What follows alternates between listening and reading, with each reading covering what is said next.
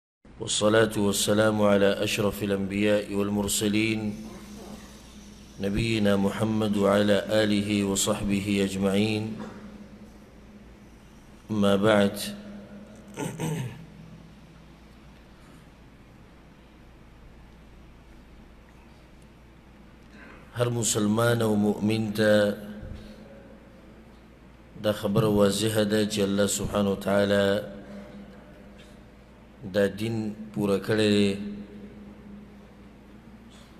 او د پیغمبر صلی الله علیه وسلم دا ذمہواری و چې دا دین مونږ ته مکمل راورسه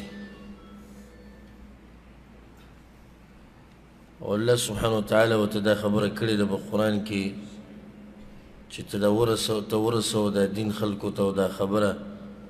د دین ده وإن لم تفعل فما بلغت رسالته او کتا دوس او کتا دې سی ونه کړه نو تا هغه پیغام کوم چې الله له طرف نه درکړې شوی دا غیر خلکو ته ونه رسو او د حجة الوداع په موقع باندې رسول صلی الله علیه وسلم ټول صحابه کرام په دې خبره باندې گواه کړو چې ما تاسو ته دین در رسول دی او کنه الا هل بلغت هغه ته او یا رسول الله دین در رسول دی نو رسول صلی الله علیه وسلم اسمان ته ګوته ونیوه وی الله ته گواشه په دې باندې صحابه کرامو نه اقرار واغستو او هغه ته او تا دین را رسولې دی مکمل پورا بیا رسول صلی الله علیه وسلم په خپل بل حدیث کې دا خبره کړې ده چې هر خبره چې تاسو جنت ته نږدې کې هغه مې تاسو ته خولې ده او هر خبره چې تاسو د جهنم نه لري کې هغه مې ته خولې ده او دغه شان چې جهنم ته مې یو عمل نږدې کوي ګناه ده نو هغه مې راته هم ښوولی چې دا ګناه ده دې نه ځان لرې ساتئ نو دین بالکل واضح دی او مکمل دی او داسې یو مسله نشته چې هغه په قرآن او حدیث کې نه وي او دغه زمونږ ایمان او عقیده ده چې هره مسله په قرآن او حدیث کې شته خو دومره ده چې د چا ذهن ورته رسي او د چا ذهن ورته ونه رسي نو بعض جاهلان زمونږ په دې خلکو کې ډېر زیات دي چې هغه دا خبره کوي پلاني مسله او پلاني مسله نشتی په قرآن کې او په حدیث کې ته یې وښایه ځوي دا ټکی ته وښایه زه د دې څه مطلب دی یو چیلنج دی تحدي ده چې ته ما ته ثابت که چې قرآن او حدیث مکمل دین دی چیلنج نور څه ته وایي زه ته وښایه ته چې وایي چې قرآن او حدیث ته وښایه چې دا مسله پکې شته دا یو قسمه تحدي شو چیلنج شو څنګه ته د مسلمانۍ دعوه کې او بیا د دې کوشش کې چې د قرآن او حدیث خلکو ته نامکمله ثابت کم او خلکو ته ثابت کم چې بعض مسلې ولیاذ بالله د الله نه پاتې شوي دي او د پیغمبر صلی الله علیه وسلم نه هغوی نه دي بیان کړي زه یې بیانوم زمونږ مولوي صاحب بیان کړي زمونږ کتاب کې راغلي دي زمونږ مذهب کې راغلي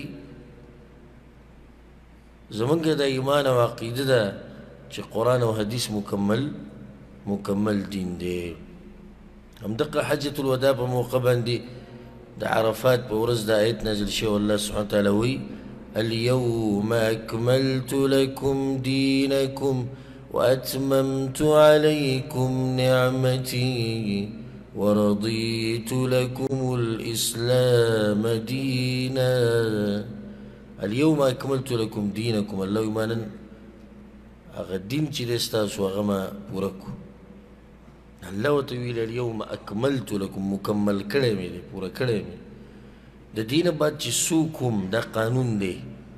چې څوک هم د دینه بعد په دین کې داسې مسله راوباسي چې هغه په دغه دین کې نه وه کوم چې پیغمبر صلی الله علیه وسلم را رسولی دی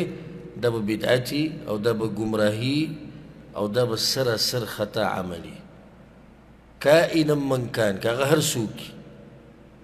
که هغه عالم دی که هغه مفتی دی که هغه شیخ القرآن دی که هغه شیخ الحدیث دی او که هغه هر څوک هر څوک دی ځکه امام مالک رحمه الله وایي دا ډېره ناشنا خبره یې کړې ده امام مالک وي هغه وخت کې چې یوه خبره دین شمارلی کېدو یعنې د رسول سم په زمانه کې د صحابه کرامو په زمانه کې نن هم حق دین دی او هغه وخت کې چې کوم خبره په دین کې نه وه نن هم په دین کې نشته ښه نن چې یوې خبرې ته دین ویلی کېږي او په هغه وخت کې ورته دین نه ویلی کېدو نو دا به څه دا به بدعتي دا به هم دین نه شمارلی کېږي اګر که دا خلک ورته دین ووایي هغې مثال چې خلک یو د ځان نه مثال کې اتوار ورځ خاص کی یا د پیر ورځ خاص کی او په هغې باندې یو خاص عبادت شروع کی او بیا دا ورسره هم ووایي چې څوک په دې ورځ دا عبادت وکړي الله وله دا دا ورکوي دا نه په قرآن کې شته نه په حدیث کې شته نن تا د دین دین جوړ کو خو د رسول صلی په زمانه کې خدا دین نه وکنه و دا د عبادت هو نو نو چې دا عبادت په هغه وخت کې نو نن هم دا عبادت نشي کېدی زمنګ په دې زمانه کې وخت کې یو بدعت ته مشهور بدعت چې هغه په ډیرو ملکونو کی مسلمانانو ملکونو کی دا مسلمانان په دغه بدعت کی واقع دی او هغه په هغه ورځ باندې اختر المنزل یا مناوهل یا خوشحالی کول په کوم ورځ چې پیغمبر صلی الله علیه وسلم پیدا شوی او هغه ته ویل کیږي مشهور دی په عید میلاد النبی صلی الله علیه وسلم ناروا او قبیح بدعت دی قبیح مو ته بدی وایي ځکه چې په دې کې ډېر ناروا کارونه کېږي بعضو به کې تاسو واورئ دا بدعت په دې امت کې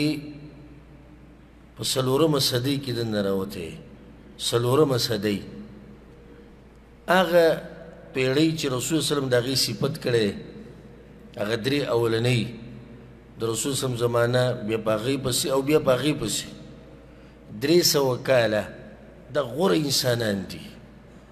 په دې امت کې غوره انسانان د قولني انسانان دي دا غینه بعد دا خبره په دې امت کې را ننوتې نه د پیغمبر صلی الله علیه وسلم په وخت کې عید میلاد النبی وو نه د صحابه کرامو په وخت کې وو نه د تابعینو په وخت کې وو نه د تبع تابعینو په وخت کې وو بلکه هغوی چا دا پیژندو هم نه چې دا څه دي د هغوی نه بعد چې کوم علما راغلي دي هغوی په وخت کې دا نه څلور امامان چې کوم دي د هغوی په وخت کې دا نه فقهاو په وخت کې دا نه محدثین لکه امام بخاری امام مسلم او داسې نور ټول د دې بدعت نه بیزاره دي او دا بری دي د څلورمې صدۍ په اخرنۍ کې دا بدعت راوتی دی څه کم څلور سوه کاله چې کله تیر شو نو د هغې نه بعد دا بدعت راوتی دی او اولنی ځل چې دا بدعت چا کړی دی هغوی ته ویل کېږي عبیدیین او دا رافضه دي رافضه شیعه ګان چې په دروغ باندې ځان ته بغوی فاطمیین وي او فاطمیین وي په دې وي زمونږ نسبت چې دی هغه او زمونږ نسب هغه مقه نسب دی کوم چې د پیغمبر صلی الله علیه وسلم دی موږ دغه په نسب کیو او ډیرو علماو د دوی دا نسب ثابت کړی دی چې دوی به دروغ وي ډیر بدعات دوی په دین کې راویستي په دغه څلورمه صدۍ کې یو بدعت دا راویستو یو بدعت دغه راویستو د عاشورا په ورځ باندې چې ځان وهي دا اوس چې شیعګان او رافضه ځان وهي دا بدعت هم په دغه وخت کې راوتی دی او د دې د پر روتې د سینې به وهلې ده مخونه وهل او سرونه ویني کول د دې د پاره وي منګه غم رخ کار کو د حسین رضی الله عنه په شهادت باندې او دا دوانه بدعت دوانه بدعت یو د عید میلاد النبی او د دویم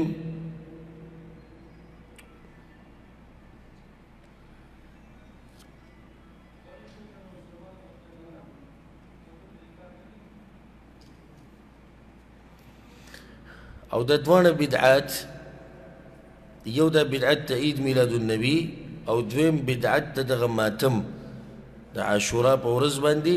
د دوانه په یو کال کې راوستي دي دغه شان اسماعیلیان وته ویل کیږي علماو لیکلي دي دوی په باره کې په تاریخ کې دوی باره کې تفصیل لغلی دا غټ زندقان او فاسقان او فاجران خلک او دوی به خپل نسبت چې د هغه رسول صلی الله علیه وسلم ته کوي موږ د هغه په نسل کې یو سخت ظلمونه دوی د مسلمانانو سره کړي خصوصاً په مصر علاقه باندې او مصر والو سره چې دوی کوم ظلم کړی دی، هغوی مجبور کړي وو دې ته چې تاسو ابوبکر او عمر او عائشه او حفصه رضی الله عنهم اجمعین او داسې نور صحابه کرام دوی ته به تاسو کنځلې کوئ، بلکې بعضو په دوی کې دعوه د الوهیت کړې وه، بعضو په کې دعوه د الوهیت کړې وه، د مانځنې خلک منع کړي وو، جوماتونه د مسلمانانو وران کړي وو. هم د دې فاطمیینو په دور کې دومره فساد دوی په ځمکه کې خور کړو چې د مصر خلک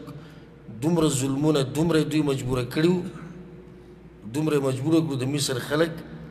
او دومره ظلمونه وسره کړو چې هغه د لوګي نه پښوګان او سپي خړلیو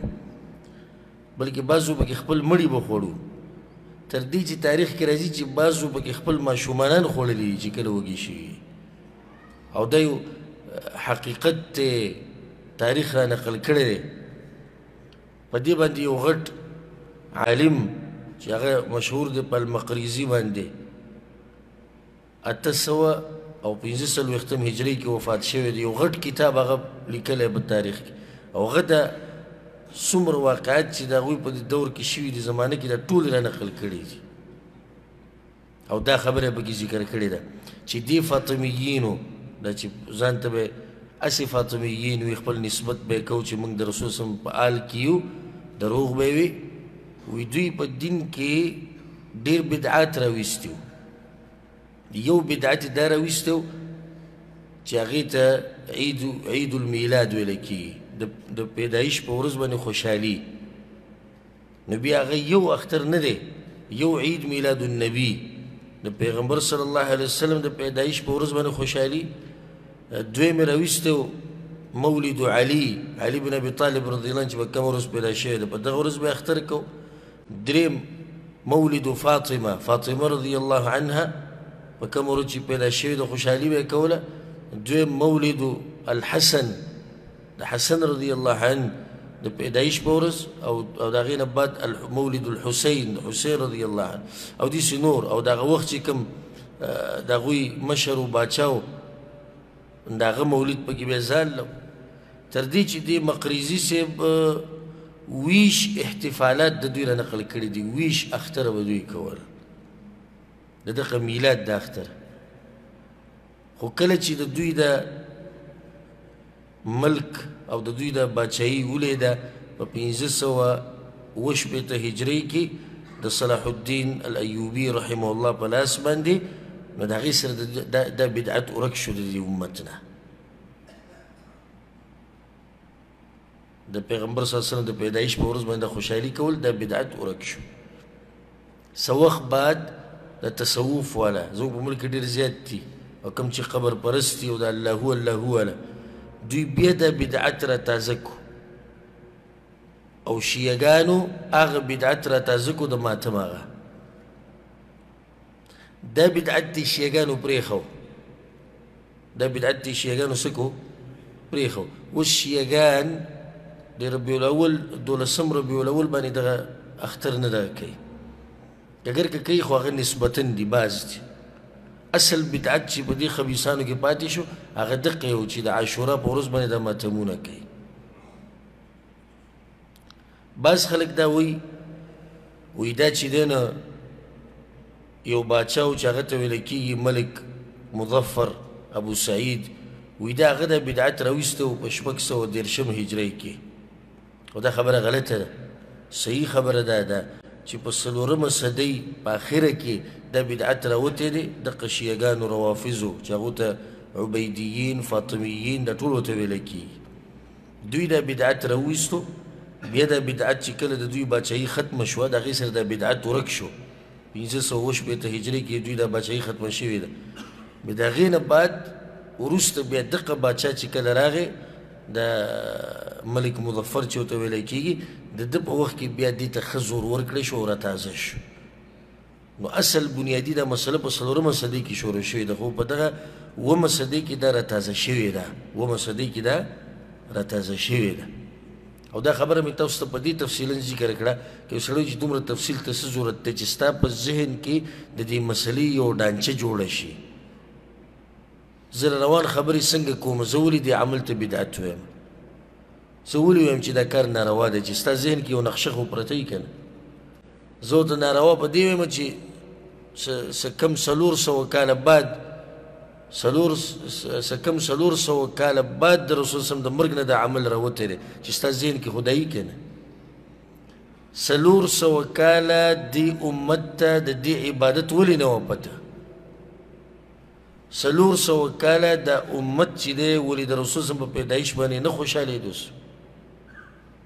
څلور سوه کاله د امت کې چې کوم علما په هغه وخت کې راغلي دي هغه د قیامت پورې به نشي راتلی کوم علما چې د رسول صلی الله علیه وسلم په زمانه کې وو لکه صحابه کرام بې د هغه نه به تابعین بیا تبع تابعین د څلور امامان د غرډ محدثین دغه علما به بیا راشي د قیامت پورې چرته دغه علما دا مسله نه پیژندله هغه علما ته دا پته نه و چې په کوم ورځ پیغمبر پیدا شوی د راشي خوشحالي وکړه راشه په دې ورځ یو اختر جوړ کا راشه په دې ورځ باندې یو محفل جوړ کا راشه په دې ورځ باندې حلوا تقسیم کا راشه په دې ورځ باندې پروګرامونه وکا سیرتونه بیان کا ولغو ته دې خبرو پته نه وس ولې دا په دور کې ونه دا عمل ځکه چې دا سلسله دې سره روانه د دین هغه دا عمل په دې دین کې نه دی موندلې خو وروسته دغه ما تاسو ته خلکو مختصر حالات بیان کړو چې دغه عبیدیین او فاطمیین دي ظالمانو په دین کې د بدعت راوستي دي او اوس په حق لار باندې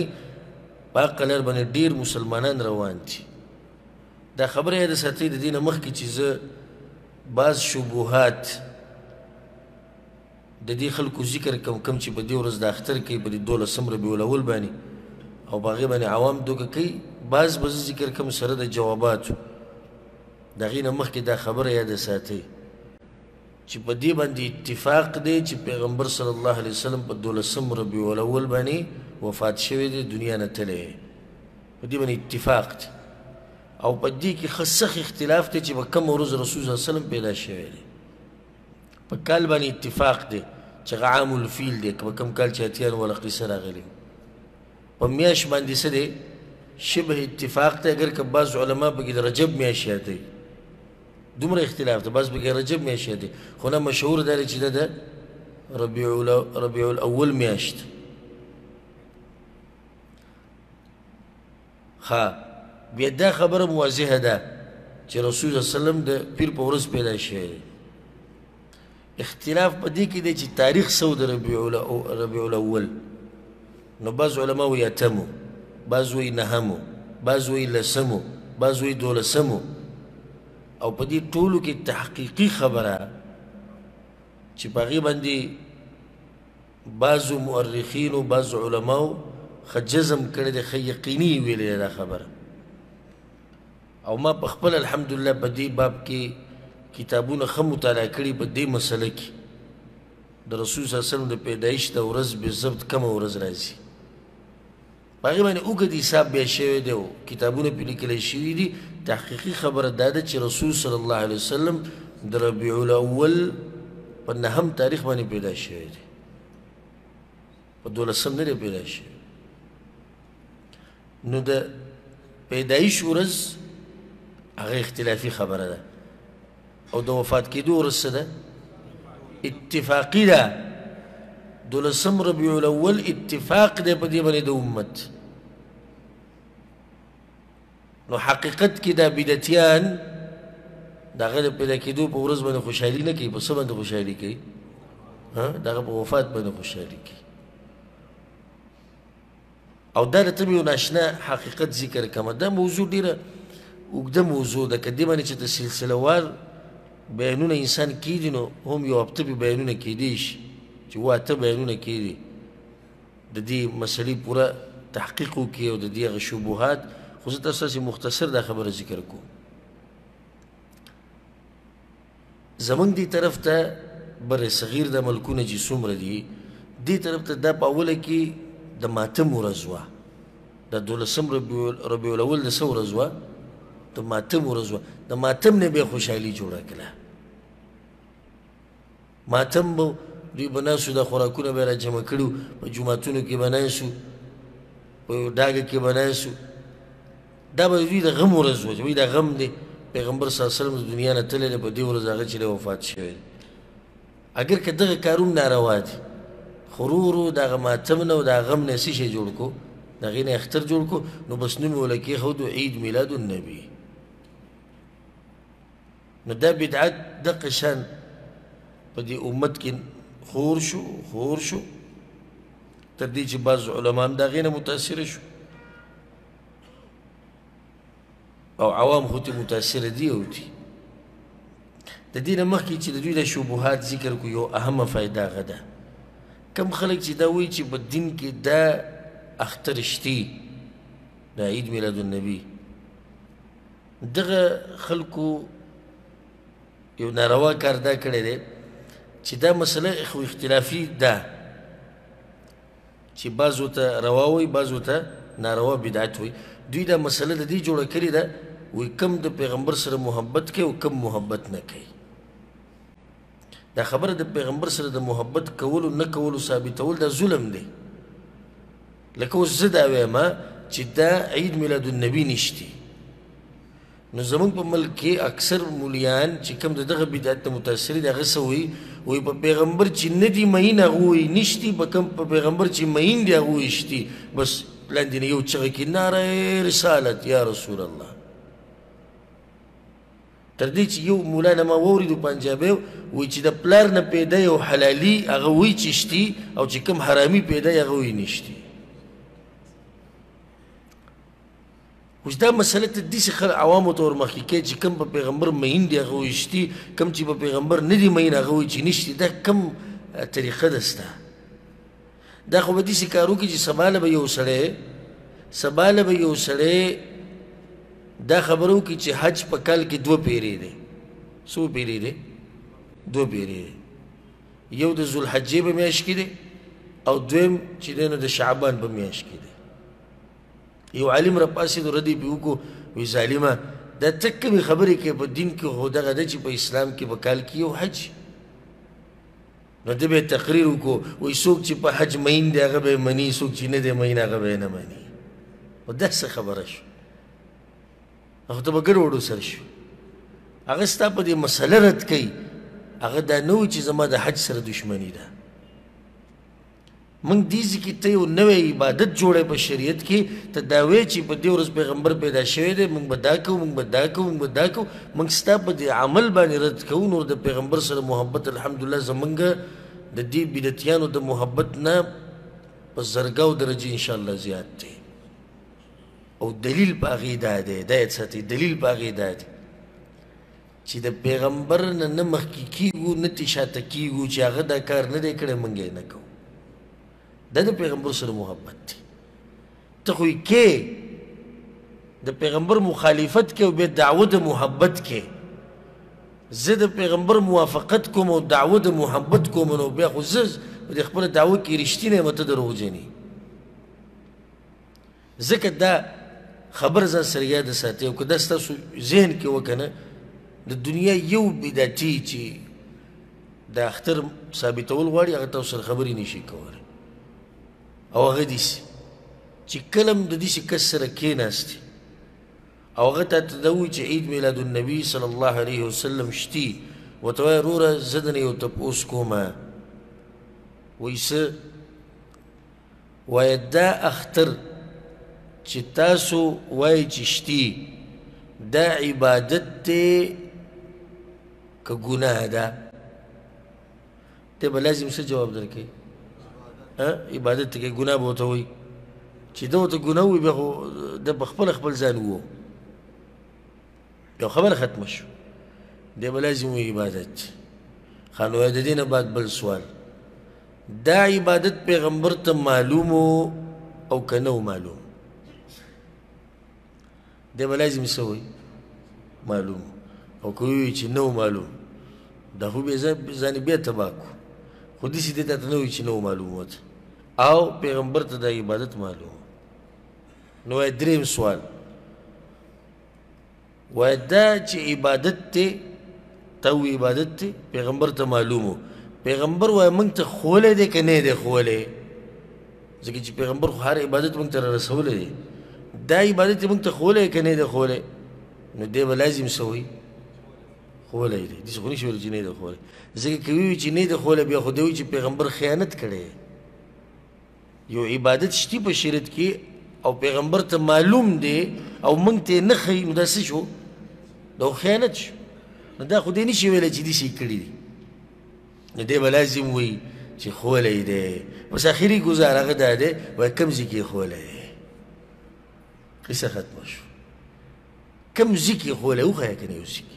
نو دی به یو غر ولي بل غر ولي وایي عیسی علیه السلام ملګري چې کله وو په هغوی باندې چې د دسترخوان راغی د اسمان نه نو هغې د هغوی د هغه ورځې نه اختر جوړ کړو زه درسره په خبره د پیغمبر کوم ته د عیسی علیه السلام پسې لاړې چېرته روان یې نو بیا بیا به نه ثابتوم ته ثابت یې که څنګه او دې شبهاتو جواب ورکوم وی الله په قران کې چې قل بفضل الله وبرحمته دا الله په فضل او دا الله په رحمت په دې خوشاله شي نو دا الله یو فضل دا دی په موږ چې د پیغمبر را کړی ځکه مو خوشاله شو لکه وای تا خو وی لک سات مخکي چې دا اختر عبادت ته پیغمبر ته معلومو مونږ ته را رسولې دي مونږ ته بیان کړي نو چې بيان کړی دی نو هغه خو فصیح او بلیغ انسان و د هغه خبرې خو ښه واضح وي یو حدیث وښایه چې هغه ښه واضح ویلي چې ای امتیانو کومه ورځ چې زه پیدا شوی ما هر کال به په دې ورځ تاسو اختر کوئ ځمکه او اسمان به یو شي ځمکه او اسمان به یو شي خو دوی دا خبره نه ثابتوله او دا هغه وخت پورې نشي ثابتولی حتی یلج الجمل فی سم الخیاط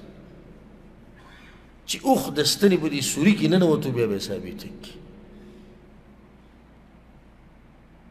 او که دغه مولیان چې کوم د دوی ملګری دي دوی او سره د غمړو او سره د غراتلونکو ټول را جمع کی دوی دې یو دلیل نشي راوړی چې بای کې پیغمبر ویلي چې د اختر شتي دا کوم سوالونه چې ما تاسو ته وی کده تاسو ته یادو نو زه تاسو ته ما تاسو ته مخکې مو بیا دې ته مو چې تاسو سره هیڅوک بیا په دې باب کې خبرې نشي کولی دا مختصر خبرې ښیي خصوصا د عوامو دپاره تفصیل چاته یادي تفصیل خو د علماو کار دی ځکه زموږ یو ملګری لګیا و ساده انسان وی چېرته دلته دا مسله اورېدلې وه چې په امام پسې په منځه کې سوره فاتحه وایي چې ملک ته تللی ملګري ته خوا کې خبر شوي کوم چې سره مونږ کو او مولوي صاحب ته ویلي مولوي صاحب ته ویل چې دا خزه پرې ده لکه ولې خزه پرې ده مسلمان باندې وجتا بل مذهب ته وړي دلې نبي او ته د خلکو ویلي چې ته وېجو ثابت کا مولي اندراول خپل او موږ مولي اندراول خپل او زموږ خدای مولي صاحب شتي نور بم راولي د سید ورځې ټاکلې خلک را جمع شوي دي او مولوي صاحب دی او د هغه ګروپ دی کتابونو یو ډیری ودرولی دی ناست دي او دقه کس یوازې ورغلی بیا هغه ماته وایي چې مولیان دې نه نوستو کسان دې نه نوستو ما چې زه خبره کوم چې نه کسان راوړه دا چې جاخه دې جوړه کړې وي چې نه زه یې کوم بیا خلکو هم دا ویلي د کیله د علاقې خلک ښه خوشحاله شوي دي چې دا دا خو لا ښه ده چې دې خبره کوي نو ده به څه خبرې عامي ته څه یاد دي چې کله خبره شروع کړې درې کاڼي وسره وي ته به دې طلاق واچوه چې دا نشتي واچو ته دا کتره او ته ته څه ګډې وډې دي شروع کړي صحیح دلایل وي دلایل پرې د دلایلو کیسې به سره مليان کوي خو ته طلاق واچو زه زه خو چوم طلاق زه چوم زما د خزر په ما طلاق طلاق طلاق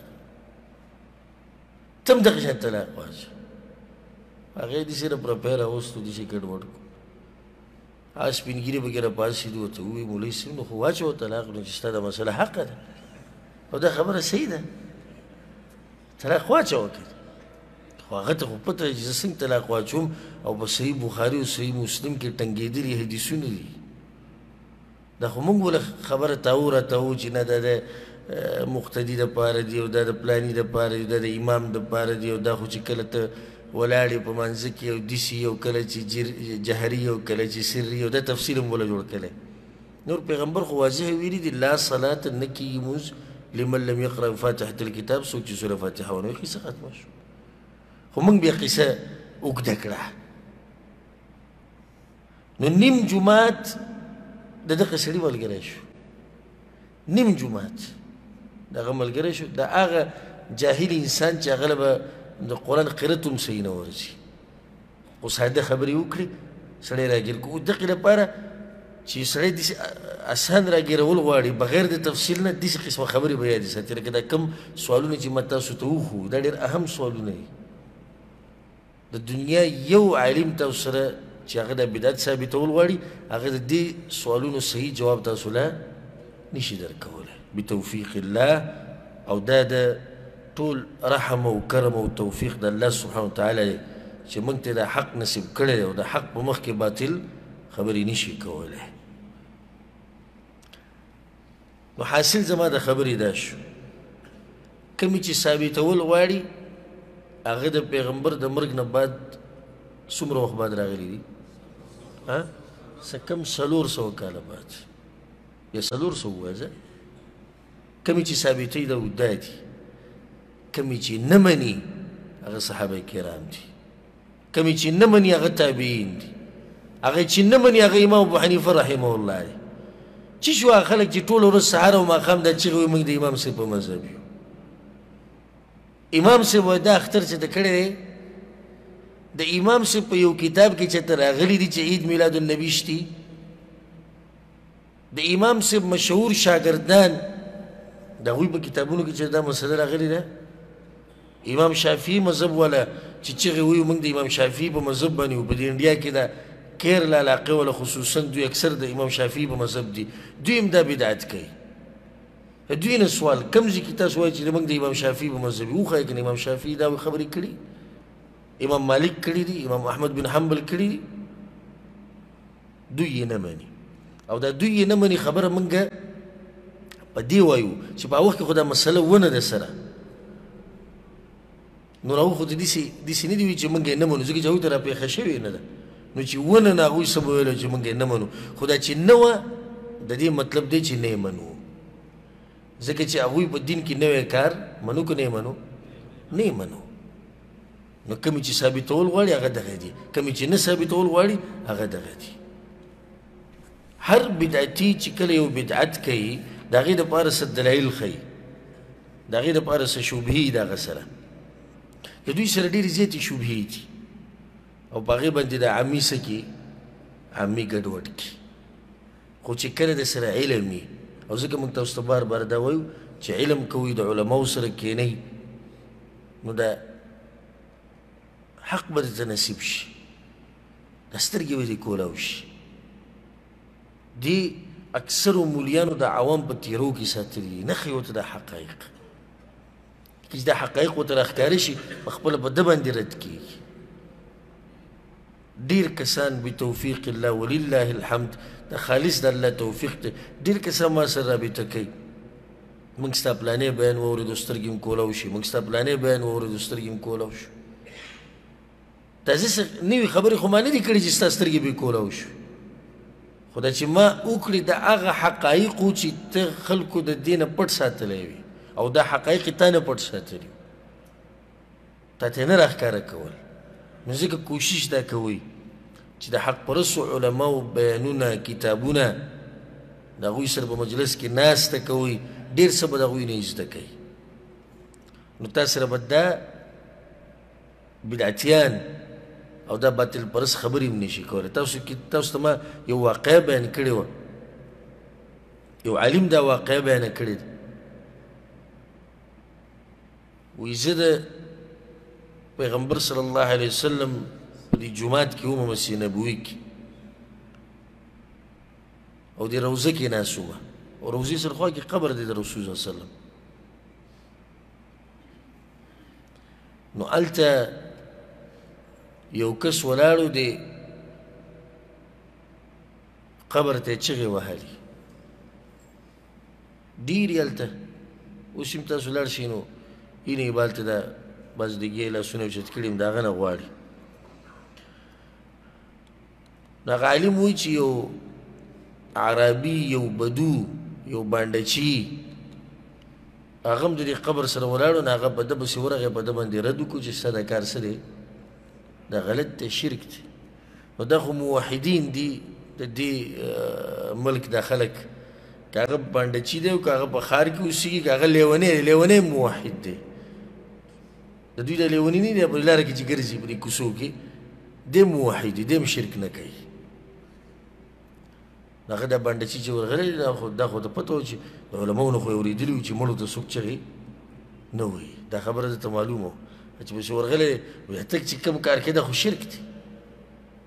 هغه عالم وایي ما نه زه دا خبره اورېده نو هغه ورته په دلیل کې ووایي چې څنګه شرک دی او الله په قرآن کې وایي چې کوم خلک چې د الله په لار کې قتل کړی شي نو دوی ته مړه مه وایي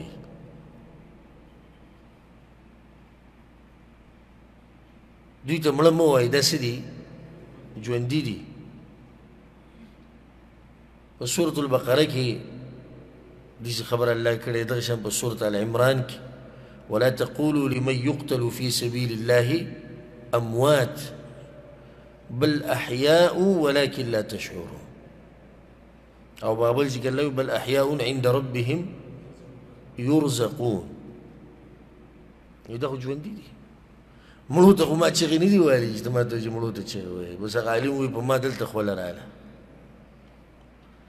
چیرې دې سړي خو ته خبره برابر وکړو خو اوس یې راګیر کو نو چې دی به وګوره څه جواب ورکوي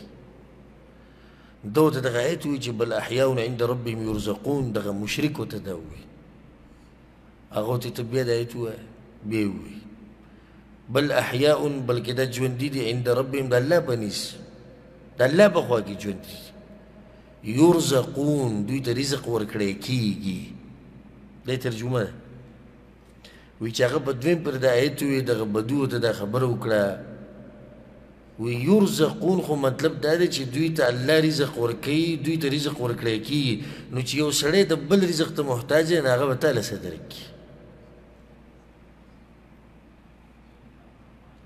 بس هغه ته روان شو دی وابیانو سره خبرې نه کی حالانکه دغه هغه هغه جاهل موحد دی دا کوم موحد دی هغه جاهل علم وسره نشته خو یو ټکی مخې له راغی یرزقون دوی ته رزق ورکړی کی نو چې دوی ته ورکړی کی خدا محتاج شو الله ته کنه نو چې الله ته محتاج شو نو ته څه کوې چې هلته قبر خوا کې ورته ولاړې چغې ورته وایې نو چې کله تاسو سره د قرآن او حدیث رڼا یي نو بیا د سره یو باطل پرست هم خبرې نشي کولی مشهوره شبهه او مشهوره خبره د دوی دا ده موږ سره وخت لږ دی او لږ وخت پاتې دی او د دوی تقریبا دوه دېرش شبهې ما را جمع کړې وي اګر که د هغې نه هم زیاتې دي خو نورې هسې کمزورې دي نو په دې کې یو څو به بیان کړو کومې چې غټې غټې دي او د نورو کې چېرته بیا الله سبحانه تعالی موقع راکړه نو په بل وخت کې به بیا بیان کړو اولنی او مشهوره شبهه هغه دوی دا ده الله په قرآن کې وایي په سورة یونس کې قل بفضل الله وبرحمته فبذلك فليفرحوا وای پیغمبر علی خلکو ته بفضل الله د الله په فضل او برحمته او دغه پر رحمت فبذلك فليفرحوا په دغه د دوی خوشحالي وکي کنه په دې د دوی سو کې خوشحالي وکي نو دوی سوي دا کم چې دا اختر کوي وی د پیغمبر رحمت ته کنه دی تاسو وی رحمت ته کنه دی رحمت ته کنه نو الله وی چې پر رحمت خوشحالي کوي الله سوي وی پر رحمت باندې خوشحالي کوي دا اوس ګوره بدعتي او باطل پرس همیشه د آیتونه کټکۍ را کټکۍ حدیث به هم پوره نه وي آیت به هم پوره نه وي ښه یو حدیث به راوالي فاتحه خلف الامام په دې مسله کې نو سبوي په امام پسې بشاته سوره فاتحه نه څه دلیل دی وی پیغمبر صلی الله علیه وسلم یو پیر مونږ کو او دا قرت په درون شو قرت په څه شو درون شو چې سلام یې وکړ صحابه کرامو ته وی تاسو ګوره تلاوت کو په منځ کې هغه یو یا رسول الله مونږ هم کوی فلا تفعلوا دا به نه کوي بس په دې ځمه خبره ختمه کی حالانکه مخې ته حدیث شته خو خبره په دې چې ودرېده مخکې څه دي فلا تفعلو الا بام الکتاب سوای د سورې فاتحې نه هغه خو به وایې خو د هغې نه زیاتي قرت به نه کوئ ګوره حدیث یې نیمګړی ووایي دقه شان دا ایت ګوره د اوږد ایت دی په سورت یونس کې خو دلته یو ټوټه راواغسته قل بفضل الله وبرحمته فبذلك فليفرحوا وتوه ما ته د ایت تاول نه ووایه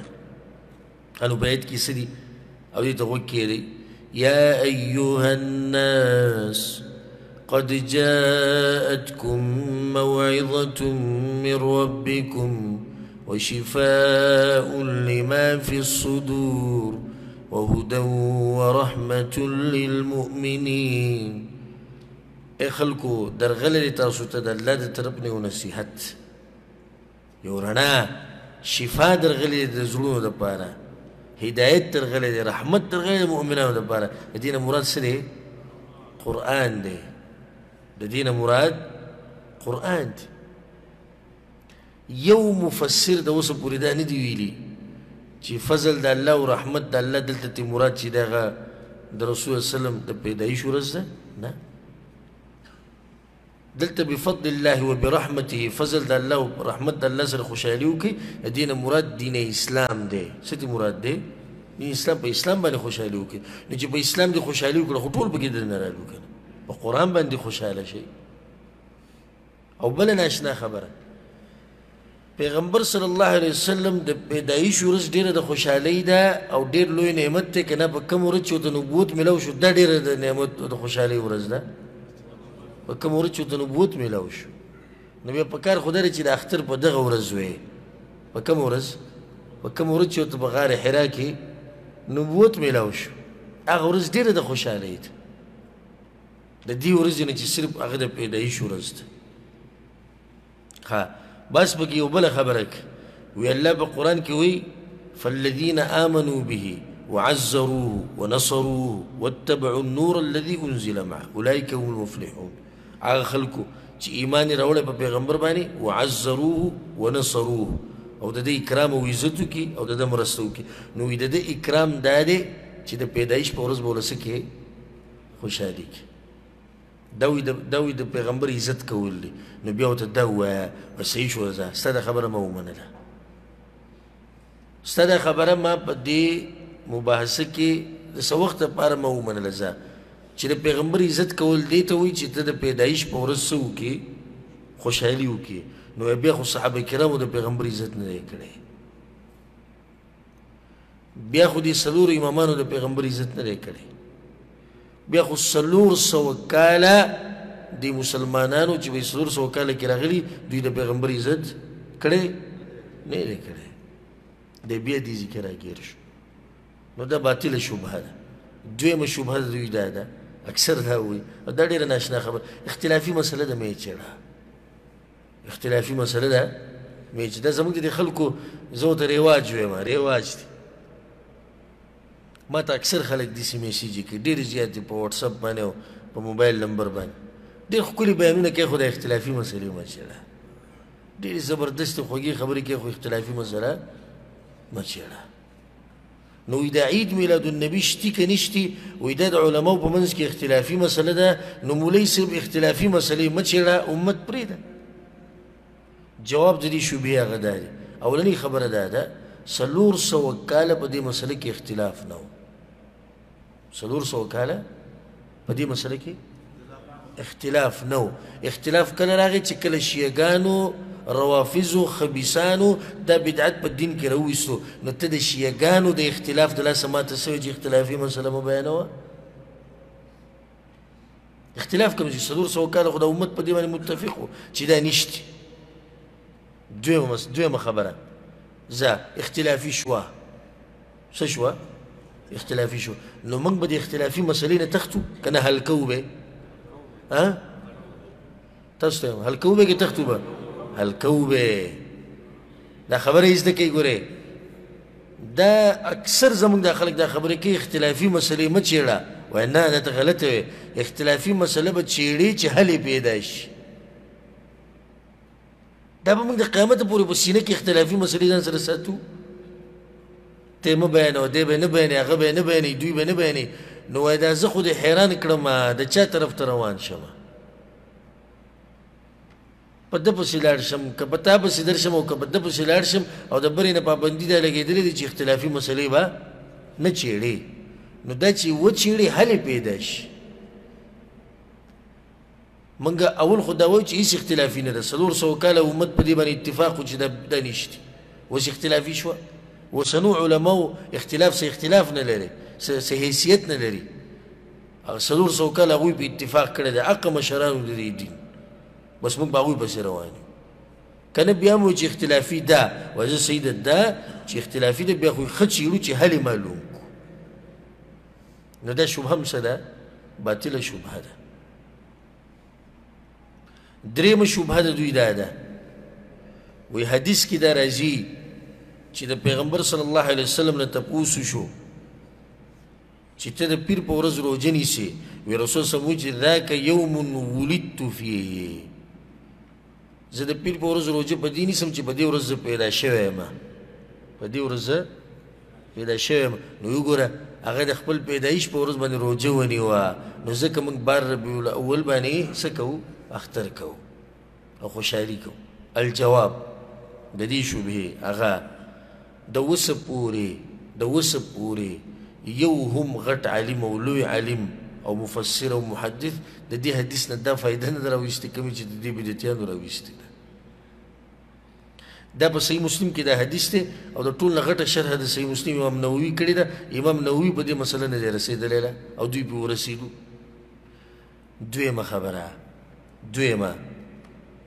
پیغمبر صلی الله علیه وسلم په دې ورځ پیدا شوم یو بل وجه هم ذکر کړی په دې ورځ باندې عمل برخیږي الله ته زه پیدا شوم نو اختری کړی دی ها څه کړی دی دوی خو به ګړي ها نه نه روجي دې نه نیسي روجي خو ته به خپه باندې ولګوله ها جنکۍ ګډول ډولونه مولونه وال د چرسو سیګریټ سکل مټایانې خوراک لیټونه شنه لګول ټوله د دنیا په لیټونو دي چې ډکه کړي او مقابله د نن درې کاله مخکې که دوه کاله مخکې په پاکستان کې په دغه ورځ په بار ربیع الاول باندې چې ګوره څو ټنه الوا پخ شوې وه او یا منه الوا پخ شوې ده د دې ته ورډ جینیس ریکارډ ویلی کېږي په ټوله دنیا کې اولنې ملک چې ډېر الوای بخ کړي د په یو ورځ کې هغه کوم ملک دی پاکستان دی اته روجي ونی چې د الوګری وسو خوري او یا من الوا چې په خش د خوراک وغواړي کېږي او چې دې دې روجي ونی بیا خوړه کی ویس او کیس پیغمبر وی ویلی دی چې د پیر په ورځ پیدا شیم ځکه روزي نیسم اول خو هغه پیغمبر دی نو هغه چې کوم خبره کوي خو د وحي په رڼا کې کوي هم دقه پیغمبر داسې ولې نه وي چې دی وي نو خو داسې به اوس هم ویلی وي چې په کال کې یو تاریخ راځي دولسم ربیع الاول په دې باندې هم کوئ یا به په خپل په دغه ورځ روزه نیوي نو په دغه ورځ ونه نیوه او هغه خو تاسو ما ذکر کړه چې روزه ونیوه خوشحالي او پروګرامونه خو نور نه دي کړي کنه ناتونه خو نه دي ویلي کنه نظمونه خو نه دي ویلي محفلونه خو نه دي جوړ کړي نو دا شوبه د دوی څه شو باطله شوبه شو دا غینه بعد یو بل شوبه د دوی دا ده وی حدیث کې دا راځي امام احمد امام ابو داود امام نسائی دا حدیث راوړی پاره کې دا دي چې پیغمبر صلی الله علیه وسلم وی استاسو په ورځو کې غور ورځ هغه د جمعې ورځ ده په دې ورځ آدم علی السلام پیدا شوی دی په دې ورځ مړ شوی دی په دې ورځ قیامت برازي نو په دې ورځ په ما باندې درود ډیر وایي په دې ورځ په ما باندې درود ډیر وایي اوس ګوره دا دلیل د څومره لرې نه رانیسي وایي دې کې څه دي وایي دې کې وګوره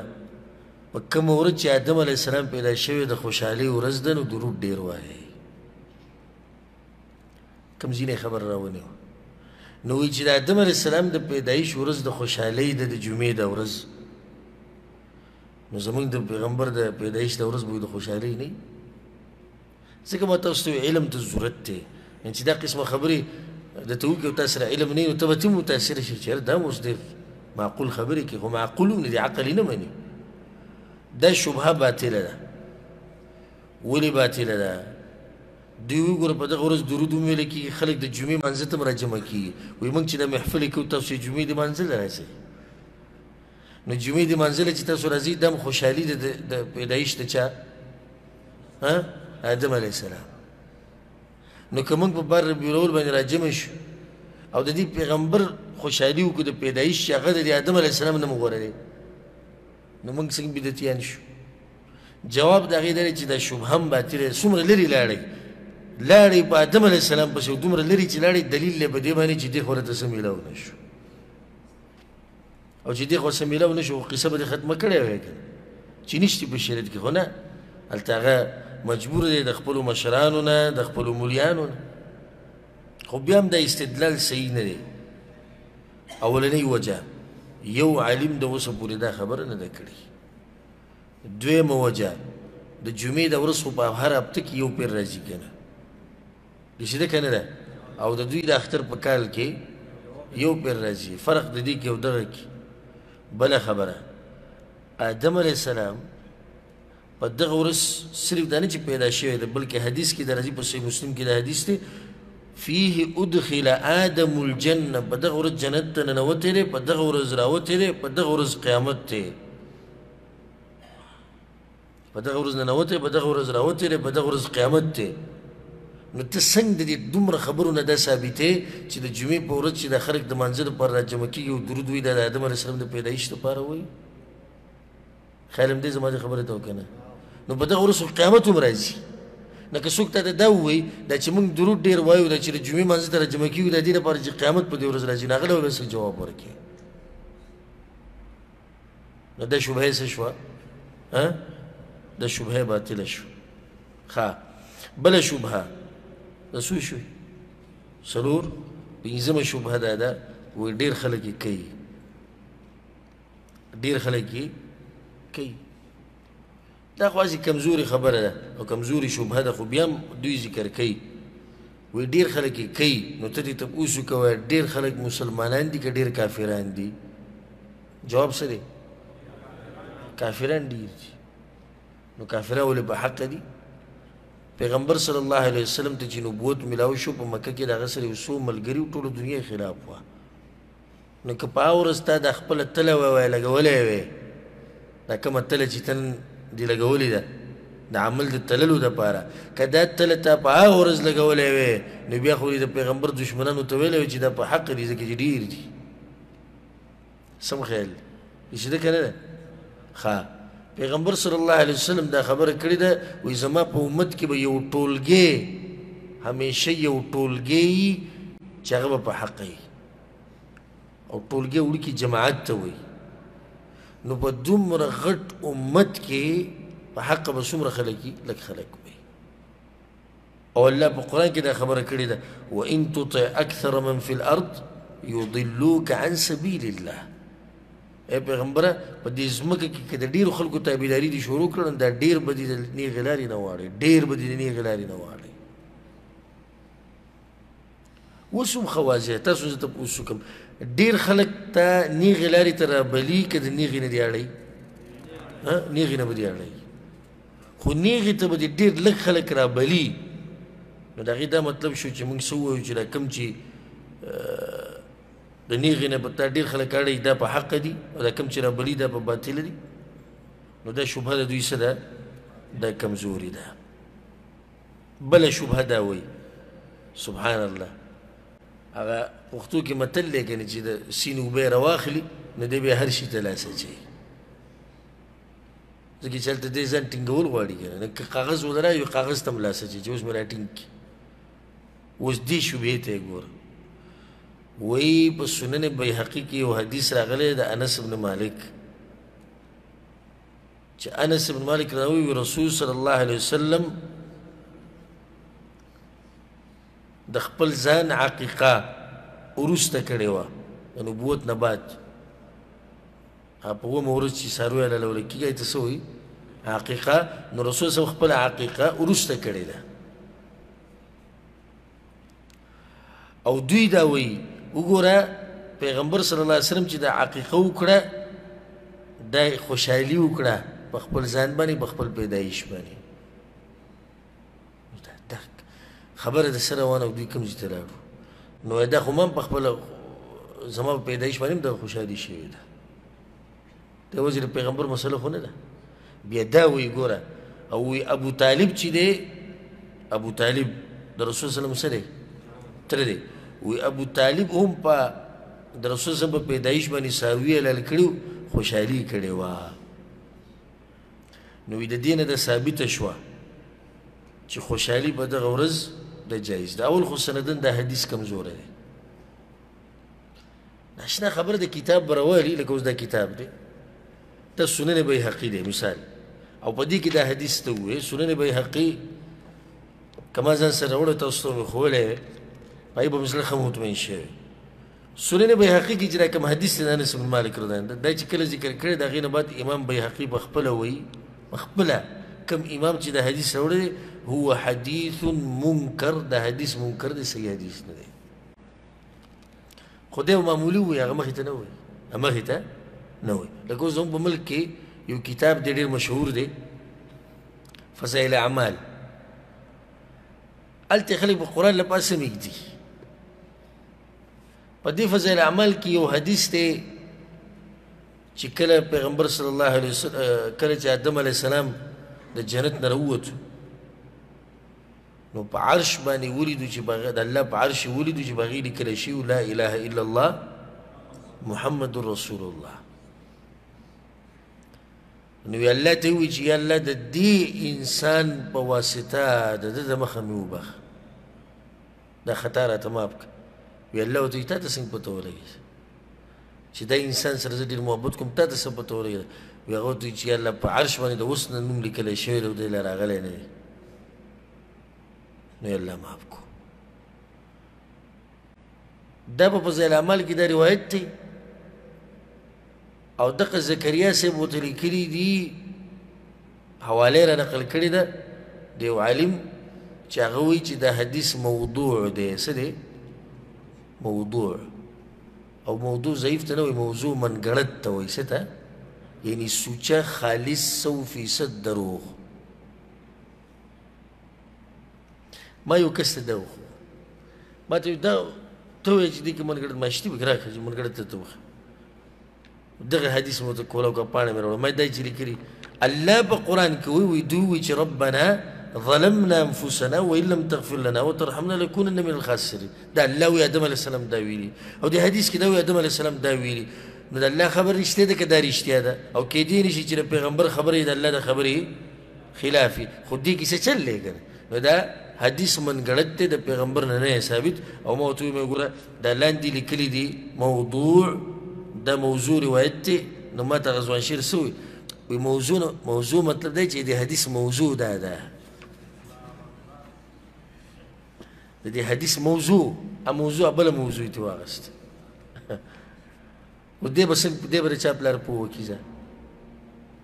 موضوع یعنی وزکړې شوی دی د دې په عربي کې مطلب دی د پیغمبر په نوم باندې وزکړې شوی دی نور حقیقت نشته نو دغه شان دا روایت امام بیهقی راوړی دی امام بیهقی بخپل وی سندن دا سره سندن صحیح نه دی نو چې صحیح نه دی نو بس بیا هغه بخپل وی صحیح نه نو څه وایته څنګه ثابت دی خاباس پکې څه وایي؟ وایي په کومه ورځ چې پیغمبر صلی الله علیه وسلم پیدا شو نو ابو لهب څه چل کړی و خپله وینځه ازاده کړې وه وایي د هغې د لاسه په هغه باندې عذاب کم شو د هغې د لاسه په هغه باندې عذاب کم شو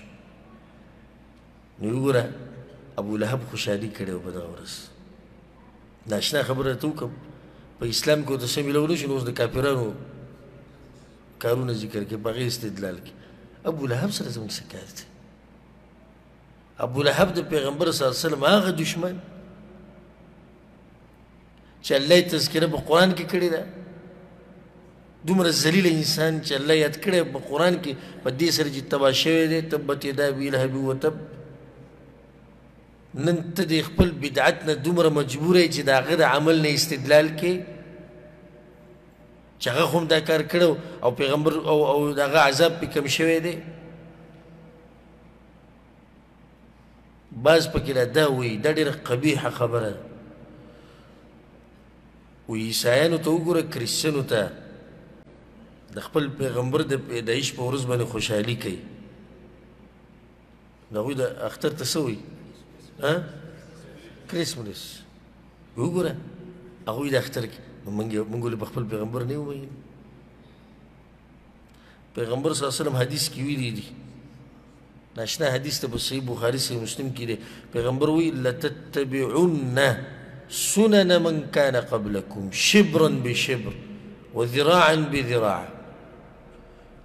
وی تاسو به د تیر شو خلکو په لار ځئ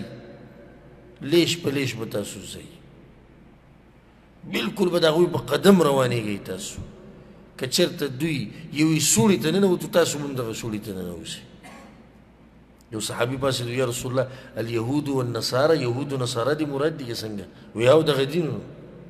ګوره پیغمبر ویلي دي وایي تاسو به داسې وخت به راشي چې تاسو به د چا په لار روانېږئ یهودو نصارو نن دوی وایي ګوره وایي نصرانیان چې د خپل پیغمبر د پیدایش په ورځ خوشحالي کوي نو موږ یې ولې نه کوو هغه خبرې له بیا رالو که نه او داسې نورې باطلې شبهې دي چې زه اوس هغه تفصیل له لاړ شم نو وخت رانه ډېر لګي او وخت ختم شوی دی خو یو څو خبرې هغه یادې ساتئ چې دا عمل عید میلاد النبی صلی الله علیه وسلم دا الحمدلله زموږ په شریعت کې نشتی نه د قرآن نه ثابت دی نه د حدیث نه ثابت دی نه د ضعیف حدیث نه ثابت دی نه د یو صحابي نه ثابت دی نه د یو تابعي نه ثابت دی دا عمل، نه د څلورو امامانو نه ثابت دی، نه د مشرانو فقهاو نه ثابت دی، نه د مشرانو محدثینو نه ثابت دی، څلور سوه کاله دې امت کې دا عمل د سره وو نه. او څلور سوه کاله بعد هم په دې امت کې دا عمل څه ښو خلکو نه دی شروع کړی بدعت خو دی خو دا بدعت هم ښو خلکو نه دی شروع کړی چا شروع کړی دی شیعګانو روافظو شروع کړی پاتې ولا ده چې وایي بدعت دی خو لا ښو خلکو کړی نه بدعت دی تیاره ده په تیارې د پاسه تیاره ده ده چې دا بدعت چا جوړ کړی دی شیعګانو روافظو دی جوړ کړی او دی ولې جوړ کړی دی ولې جوړ کړی و د دې وجه دا وه چې دوی ظلمونه ډېر زیات کړي وو ما تاسو ته ووایي که نه چې خلک یې دې ته مجبوره کړي وو چې سپي او پیشوګان به یې خوړو نو دوی څه چل وکړو دوی څه چل وکړو دوی هغه د درس په منځ کې ګوره د یو ځای نه بل ځای ته تګ یا خپله څه خبره کول د درس په منځ کې قطعا مه کوئ د درس د ملګرو ذهن هم ګډوډ شي او زما خپله ذهن چې دی په دې سخت ګډوډ کېږي څه خبره کوله ظلمونه ډیر کړي تر دې چې خلک مجبور کړو دې ته چې دوی سپي او پیشوګان وخوري خپل بچي وخوري اوس د خلکو دوی سره محبت نه کوي نو د دې خلکو د زړونو د ګټلو لپاره د قصې شروع کړي رسمي اعلان به د حکومت ته طرف نه وشو بار ربیع الاول د عید میلاد النبی ورځ ده په دې ورځ به د پلانی سه باچا باچا سه د طرف نه بم پروګرامي او وګوره څومره مین دی دی په پیغمبر باندې لږ وخت بنو تیر وی باچا سه وی چې د علی رضی الله عنه پیدایش په ورځ به پروګرام کو به خه متاثر شو به د فاطمه به حسن به حسین فاطمه د عوام کلی سي په اسانۍ پويږي نو دوی هغه خپل ظلمونه پټ کړو په دې بدعاتو باندې ظلمونه پټ کړو په څه باندې په دې بدعاتو باندې دا ناروا کار دی بلکې دا لار د شرک طرف ته لار د څه طرف ته ده شرک زموږ په دې ملکونو کې چې څومره خلک د اختر مناوي ورشه کنه اکثر به پکې ته شرکی الفاظ اوري او که نوري سم نه لیکل شي وي یا رسول الله د یا رسول الله چیلنج تاسو له در کومه او ورکه دا چیلنج د خلکو ته ورسوي دا تحدي د یا رسول الله ټکی نه دی خالي زه ماته وخی چې یو ځي کې دی عید میلاد النبی کیږي او سدي نه لیکل شوی یا رسول الله دی نه او خو لا پرې دغه چغې چې وایي یا رسول الله او خزانه را کمنګلو دا را او په دغه ورځ راځي د جمعتونو کې او په دې پروګرامونو کې زم پرې خو دي څه کم خلک دي فإنها لا تعمل الأبصار ولكن تعمل قلوب التي في الصدور ده ده زړونه ړاند شوي وزه صحیح ده تاسو سره موږ ومنل چې پیغمبر پروګرام لا راځي نو دا پیغمبر څنګه په یو وخت کې کراچۍ ته راځي او پېښور ته راځي او افغانستان ته راځي او انډیا ته راځي او بنگلاديش ته راځي دا څه قصه ده ها او هر جمعات ته به په یو علاقه کې هر جمعات ته راځي دا شنه خبره شو عقل بند شوی دی کنه زړه باندې ټالي لګېدلي نه پوهېږي تاسو ما دا واقع بیان کړې وه زه یو وخت کې تلم پاکستان ته کراچۍ ته د هغه هسې سبحان الله هغه ورځې چې د هغه د بار ربیع الاول وې او د زوی په ځای هر څه شنه و تک شنه و هر څه په دقه شپه باندې چې کوم حل او جاخه جوړه وه د نعتونه او نظمونه او درز او درز او هماله مو خوب نه راتو چې د شپې یولس یولس نیمې بجې خوا ته جومات نه ډېر تېز اواز راتو د نعتونو نظمونو ما هلته ورځم د دوی سره کښېنم چې دوی څه کوي نو بیا خلکو ته بیانولی شم نو چې زه ورغلم په دروازه باندې یو دوه هلکان ولاړو او چوکیداري کوله هسې ما ته بد بد وکتو الحمدلله دی د مخکې زما څه ولیدي دا زموږ پارټۍ والا نه دی او د حق پرسو د باطل پرسو د مخ نه پته لګي چې دا دغه دی که نه دی خو زه ورسره کېناستم بیا کوشش مې کوم چې د مولا سره نږدې کېنم چې د دا طریقې ښه پوره ووینم نو زه کېناستم د ډېر جوخ کېناستم په یو ځای کې چې ګڼه ډېره زیاته نو هغه به په خوږ اواز کې لګیو دغه الشرکي اشعار به وي پیغمبر راغی او اسلام معراج واقعه به کې بیان کړو پای کې دومره منګړتي خبرې وکړي بیا د پیغمبر خواته یو غریب راغی او د پیغمبر خواته یو بیمار راغی او د ټولې دا خبرې کولې او د ټول به سره لقیدو داسې داسې وړه په خوږ اواز کې یو ټوب وړه کې نو زه خو نه ډکېدم خو زه یې د ځان سره وړم راوړم داسې ځکه چې هلته موږ تنګ نه شو نو زه نو هغو دا مطلب دی موږ سره ډکې را ډکې بیا په منځ کې یو جذباتي خبره وکړه سمه جذباتي نو هغې سره به د عوام جذبه شو د مولوي صاحب سره خوا کې یو ډبی پروت و هغې ته به یې پیسې وروویشتې ما په خپل سترګو دیر دي معمولی پیسې ونه ویشتي چې روپۍ راوړه یا کړنګو کو دوه روپۍ ورواچولې نه ما په خپل سترګو لیدلی داسې چې بندل به راوړي چې به ور ویشتو هغه ته خو مالدار خلک وو پوره نو چې هغه به ډک شروع د مولوي صاحب سره یو بل ناسو دی د دې کرسۍ په دې خوا کې داسې هغه به داسې ړقېدو ړقېدو شین پټکی چول له پاسه په هغې باندې سپین څادر راچولو هغه بالکل ورته په دې خپو کې ناسته وه، د هغه دا کار و چې بالټی به ډک شو، هغه به یې په بل ځای کې وړ او بیا به یې بالټی کېښود. ما وی باید دا مولا به ما سره ومني چې دا کار ناروا دی دی ومني بیخ بنیادي وزي کاروبار ټول بندي په دې شپه کې چې د سمه شوړه راټولې در روان بار رب الاول پوری پوره ده نه دا غیر زیاته ده دا بالټي ډکیږي د سحره پورې او اخوا یا بل چې دی ورسره خوا کې کوم بزرګ ناست هغه اخوا ته شي چې دا ما د خپلو سترګو هغه کوم حالات چې ما لیدلي دي هغه ما تاسو ته بیان کړو دا بدعت دی او وسیله ده د شرک طرف ته دغه شان اکثر ملګري دا تپوس کوي دوی چې دا کم پروګرامونه کوي او دا الواګانې تقسیموي او دا خوراکونه او ساروي عللي د دې خوراک جایز دی او کنه نو جواب دغه مسلې دا دی کچرته دوی د چا پیدایش په عقل چې خوشحالي کوي او د چا په باره کې چې خوشحالي کوي هغه پیغمبري یا د بل اکثر ګوره دوی ډیر میلادونه دي یو دغه نه چې د پیغمبر دی د پلانی بزرګ او د پلانی ولی الله دا کچرته دا غ په نوم حلالي نو به د سره د شرک دی د دې خوراک ناروا دی او کچرته حلالي د الله د پاره او د الله په نوم خو په دې پروګرام کې نو به د بدعت کې ناروا کار کوي نه خوراکي غوړه دي نه خوراکي سری غوړي ولي ولي به خوراک نه لري پکار وجه دا ده چې تامونه خوړه دمونه خوړه غمونه خوړه دم د ته احساس وشو چې زما دا کار څه دی دا غلط دی نو چې ما او تا ته په خوله غلط وایو او چې مجموع راله راوړي هغې ته بیا نشي ټینګېدی نه دا خو ته مرسته کې په څه طریقه دې ولا پټه مرسته وکړه او چې او پلانیه کار دې غلط دی خو دا کار دې صحیح دی دا غوښې چې رالیږي